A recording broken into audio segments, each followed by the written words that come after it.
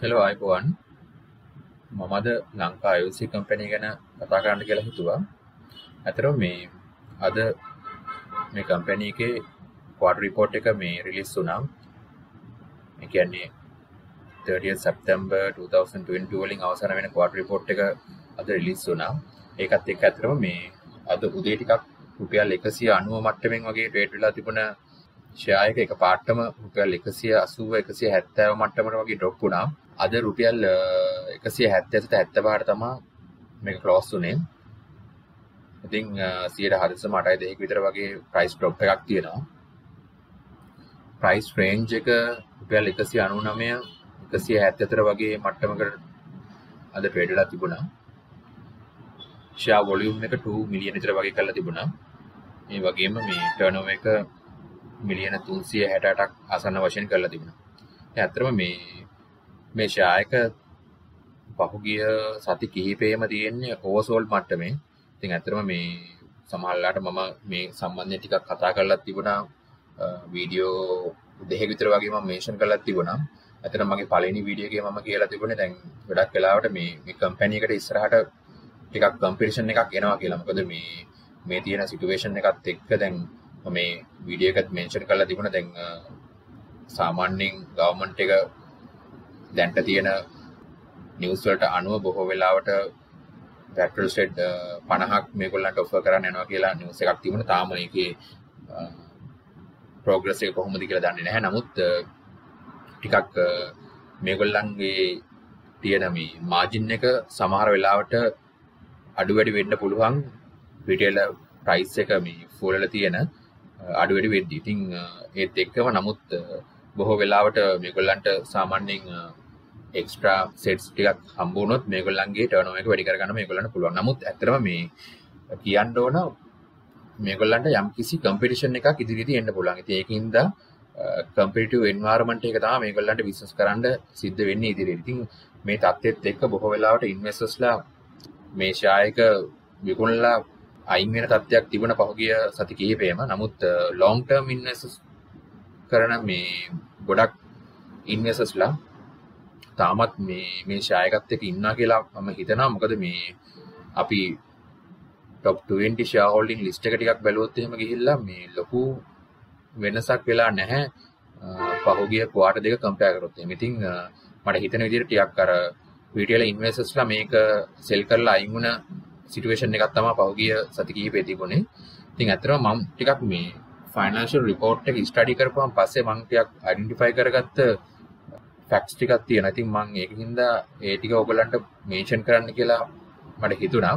ඇත්තටම දැන් මම පොඩ්ඩක් මේකේ පහුගිය ක්වාටර් දෙකේ රිසල්ට් ටික පොඩ්ඩක් මම මේන්ෂන් කරන්න කැමතියි. ඇත්තටම මේ ජූනි වලින් අවසාන වෙච්ච මේ ක්වාටර් එකේ කියන්නේ ෆස්ට් ක්වාටර් එක 2022 23 එකේ රෙවෙනියු එක ඒගොල්ලන් ආසන්න වශයෙන් 50 බිලියන් විතර වගේ කරලා තිබුණා. ඒ ක්වාටර් එක තමයි අතට මේගොල්ලන් අර හොඳ ප්‍රෝග්‍රස් එකක් පෙන්නපු ක්වාටර් එක මේකේ ඒගොල්ලන් ග්‍රොස් ප්‍රොෆිට් එක බිලියන 15ක් වගේ පෙන්නනවා.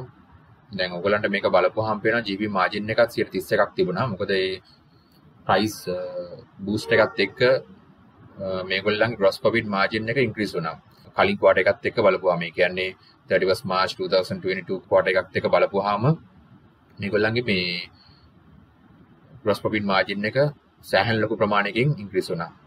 net profit එක ඒගොල්ලන් පෙන්නලා තිබුණේ 9.9 බිලියන් වගේ. NP මාජින් එක 20ක් වගේ පෙන්නලා තිබුණා. EPS එක ඒ ක්වාටර් එකේ රුපියල් 18.64ක් පෙන්නලා තිබුණා. Net asset value එක රුපියල් 64.25ක් පෙන්නලා තිබුණා. ඇත්තටම දැන් මේ EPS එක ගත්තොත් එහෙම ටිකක් අර මේ සිටුවේෂන් එකත් එක්ක බැලුවොත් එහෙම දැන් කම්පැරිසන් එකක් කරොත් එහෙම පහුගිය ක්වාටර් එකත් එක්ක කියන්නේ මම මේ කතා කරන්නේ මේ 31 මාර්ච් 2022 ක්වාටර් එකත් එක්ක කම්පෙයාර් කරොත් එහෙම සෑහෙන ලොකු පර්සන්ටේජ් එකකින් වැඩිලා තිබුණා. ඉතින් ඒකත් එක්ක මේකට ලොකු ඇටෙන්ෂන් එකක් ඉන්වෙස්ටර්ස්ලාගේ ආවා. ඒ කියන්නේ ගොඩක්ම රීටේල් ඉන්වෙස්ටර්ස්ලා ඒ වගේම මේ ලොන්ග් ටර්ම් ඉන්වෙස්ටර්ස් මේකට එන්ටර් වුණා. ඉතින් මේ මේ සිටුවේෂන් එකේදී ඇත්තටම දැන් ෆුවල් ප්‍රයිස් එක ගොඩක් වෙලාවට සියට දෙසියකට ආසන්න ප්‍රමාණයකින් විතර වගේ ඉන්ක්‍රීස් වෙලා තිබුණේ මේ ක්වාටර් එකේ කියන්නේ ෆස්ට් ක්වාටර් එකේ. ඉතින් ඇත්තටම දැන් ඊට පස්සේ අපි බැලුවොත් එහෙම දැන් රිලීස් වෙච්ච ක්වාටර් එකේ සෙකන්ඩ් ක්වාටර් එක 2022-23 එකේ ඒගොල්ලන් රෙවෙනියු එක බිලියන 88ක් ආසන්න වශයෙන් ඒගොල්ලන් වාර්තා කරලා තියෙනවා. ඇත්තටම දැන් මම මේ ටිකක් බැලුවේ මේ ඒගොල්ලන්ගේ රෙවෙනියු එක ගොඩක් දුරට මේගොල්ලන් වර්ධනය කරගෙන තියෙනවා. කම්පෙයාර් කරොත් එහෙම ගිය ක්වාටර් එකත් එක්ක. බොහෝ වෙලාවට මට ඇත්තටම කිසිම මේ ඉන්ෆර්මේෂන් එකක් නැහැ. ඒගොල්ලන් සමහර වෙලාවට මේ ඒගොල්ලන් අලුතින් තව අර හම්බෙච්ච ඇප්‍රෝල් එකත් එක්ක සෙට්ස් පටන් ගත්තද කියලා මට එහෙම ලොකු ඉන්ෆර්මේෂන් එකක් නැහැ ඒ සම්බන්ධයෙන්. නමුත් ඒගොල්ලන් රෙවෙනියු එක අප් කරගෙන තියෙනවා. මොකද මේ ඔයගොල්ලන්ට බැලුවොත් එහෙම ග්‍රොස් ප්‍රොෆිට් එක මේගොල්ලන් මේ ක්වාටර් එකේ පෙන්වන්නේ 16 බිලියන විතර වගේ. ඒ කියන්නේ GP මාජින් එක ගත්තොත් එහෙම 19ක් වෙනවා. GP මාජින් එක මේගොල්ලන් අඩු වෙලා තියෙනවා. පහුගිය මාස තුනේ. ඒ කියන්නේ ජූලි අගෝස්තු සැප්තැම්බර් කියන මාස තුනේ යම්කිසි ප්‍රමාණයකින් ෆුවල් ප්‍රයිස් එක ඩික්‍රීස් වුණා. ඒකින් හින්දා මේගොල්ලන්ගේ මාජින් එක ටිකක් අඩු වෙලා තියෙනවා. ඉතින් ඒගොල්ලන්ගේ net profit එක මේ quarter එකේ ඒගොල්ලන් 12 බිලියන විතර වගේ කරලා තියෙනවා. ඒ වගේම NP margin එක 14ක් වෙනවා. ඇත්තටම දැන් gross margin එක අඩු වුණත් එක්කම net profit margin එකත් ඒගොල්ලන් අඩු කරගෙන තියෙනවා මේ quarter එකේ. නමුත් EPS එක ඒගොල්ලන් වැඩි කරගෙන තියෙනවා රුපියල් 23.21කට. මොකද මේ ඒගොල්ලන්ගේ revenue එක ලොකු ප්‍රමාණයක ඒගොල්ලන් ඉන්ක්‍රීස් කරගෙන තියෙන හන්දා. net asset value එක රුපියල් 85.21ක් වෙන්නා මේ ක්වාටර් එකේ. ඉතින් ඇත්තටම දැන් මේ ඉන්ෆර්මේෂන්ස් එක්ක ගොඩක් වෙලාවට දැන් අද මේ ඇති වෙන ඩ්‍රොප් එක සමහර වෙලාවට දැන් බොහෝ වෙලාවට මම දකින විදිහට මේ රීටේල ඉන්වෙස්ටර්ස්ලා ගොඩක් පැනික් වෙලා මේ ෂෙයා එක සෙල් කරනවා කියලා මම හිතන්නේ මොකද මේ ඒගොල්ලන් හිතනවා ගොඩක් වෙලාවට ඉදිරියේදී මේකේ earnings ගොඩක් අඩු වෙයි කියලා. නමුත් ඇත්තටම මේ ඒ වගේ දෙයක් හිතනද අපිට මේ කල් වැඩි. ඇත්තට මොකද මේ ගොඩක් වෙලාවට දැන් අපි බැලුවොත් එහෙම මේගොල්ලන්ට තියෙන ප්ලස් පොයින්ට් එක තමයි ගවර්න්මන්ට් එකේ අලුතින් සෙට් 50ක් ආරම්භ කරන්න ගත්ත ඇප්‍රූවල් එක නිසා ගොඩක් වෙලාවට මේගොල්ලන්ගේ රෙවෙනියු එක ඉදිරියේදී වැඩි වෙන්න පුළුවන්. නමුත් මම අර කලින් කිව්වා වගේ ෆුවල් ප්‍රයිස් එක අප් ඇන්ඩ් ඩවුන් යන විදිහට සමහර වෙලාවට මේගොල්ලන්ගේ මාජින් වල අඩු වීමක් වෙන්න පුළුවන්. නමුත් මම හිතන විදිහට දැන් තියෙන ටර්නෝවර් එකට වඩා මේගොල්ලන්ගේ ටර්නෝවර් එක ඉදිරියේදී වැඩි වෙන්න පුළුවන් සම්භාවිතාවක් තියෙනවා. ඒකින්ද තමයි ගොඩක් වෙලාවට දැන් මේකේ long term investors ඉන්නවා නම් තාමත් මේ ෂෙයා එකත් එක්ක ඒගොල්ලන් ඉන්නේ මෙන්න මේ හේතුව හින්දා වෙන්න පුළුවන්. නමුත් ඇත්තටම දැන් මම පොඩ්ඩක් මේකත් එක්ක ටිකක් අයිඩියා එකක් ගන්න මගේ වර්කින් එකක් මම කරා ඊළඟ ක්වාටර් දෙකේ අපි කොහොමද මේ එස්ටිමේට් එකක් කරොත් එහෙම මේගොල්ලන් මොන වගේ රෙවෙනියු එකක් මේගොල්ලන් ජෙනරේට් කරයිද කියලා.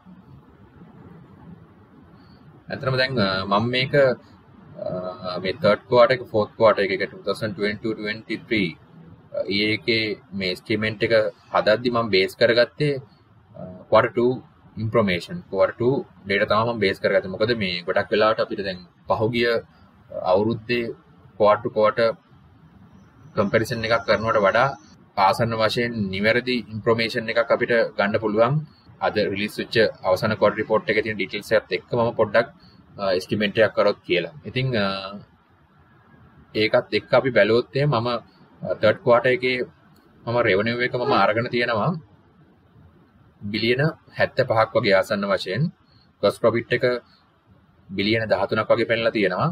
GP margin එක මම 117ක් වගේ පෙන්නලා තියෙනවා. full price එක drop වුණොත් තමයි මේ මාජින් එක ඩ්‍රොප් වෙන්නේ. ඒ වගේම සමහරලාට ඉදිරියේදී යම්කිසි අවස්ථාවක මාජින් එක වැඩි වෙන්න පුළුවන් ගෝල්ඩ් ප්‍රයිස් එක වැඩි කරොත් එහෙම. ඉතින් ඒ හේතුවත් එක්ක මේක යම්කිසි විදියකට අඩු වැඩි වෙන්න පුළුවන්. ලොකු ප්‍රමාණයක් නෙමෙයි. සාමාන්‍යයෙන් ආසන්නයෙන් 104ක 5ක විතර වගේ අප් ඇන්ඩ් ඩවුන් එකක් වෙන්න පුළුවන්. නමුත් ගොඩක් වෙලාවට මේගොල්ලන් සාමාන්‍යයෙන් ඉදිරියේදී මේගොල්ලන්ගේ සෙට්ස් ඕපන් කරගෙන ගියොත් එහෙම ඒ වගේ ඉන්කම් එකත් එක්ක මේක යම්කිසි දුරකට තවත් වෙනස් වෙන්න පුළුවන් ඉදිරි කාල පරිච්ඡේදෙ. ඒකත් එක්ක මම පෙන්නලා තියෙනවා මේකේ net profit එක බිලියන ආසන වශයෙන් 9ක් වගේ තියෙන්නේ.